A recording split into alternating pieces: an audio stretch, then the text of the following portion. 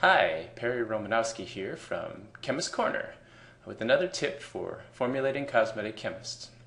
Today we're going to look at the uh, idea of how you figure out how much your formula is going to cost. As a cosmetic chemist, you're going to frequently be asked by uh, people involved in your projects uh, what the cost of your formula is. This is not a very difficult thing to do, but if you don't know how it's done, it it's, uh, can, seem challenging.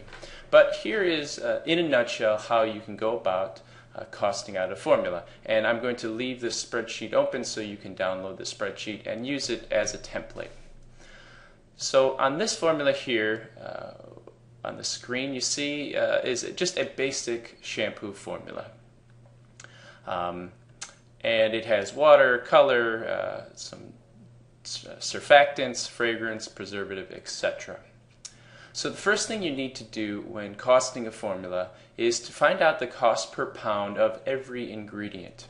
In this column here, you can see I've listed in the cost per pound. So water generally has no cost associated with it. This will depend on your uh, the way your financial people handle things, but in general, water is always zero.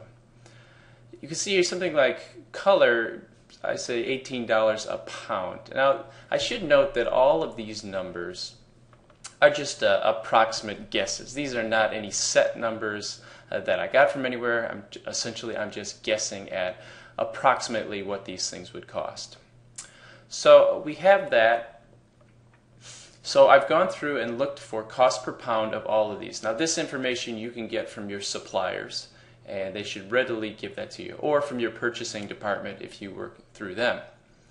So once you've filled in the cost per pound, you need the percentage of the ingredient in the formula. Now this is what you've been working on, so presumably you will already have this. Then we end up with a calculated number here, and this is the percent of uh, cost associated with this particular ingredient. And the way that this is calculated is that you multiply the percent by the cost per pound and you divide by 100. This is this formula right here. So in the case of disodium EDTA, $4 a pound times 0.1% divided by 100 gives you 0.004. Now this number here is in terms of um, dollars. So uh, the disodium EDTA contributes 0.004 dollars per pound.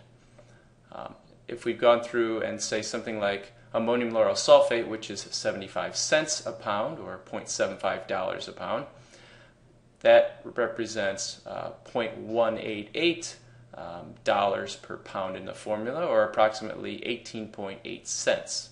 If we've gone through and did those calculations, added them all up, we total the number here, and we get uh, this formula costs $0.44 per pound to produce, or 44 cents a pound.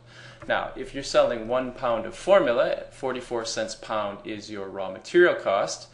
Uh, if you multiply that out by at least four times, maybe five times, you'll see that you need to charge at least $2 per pound um, to, uh, to make a profit on this product. So that's basically how you do it. Here is the information you need. Here is the formula. Uh, I've got a form here which gives you the basic uh, formula there and you can fill in cost per pound ingredients. You can add ingredients uh, as required and that pretty much is that. I hope you enjoyed this uh, little tip.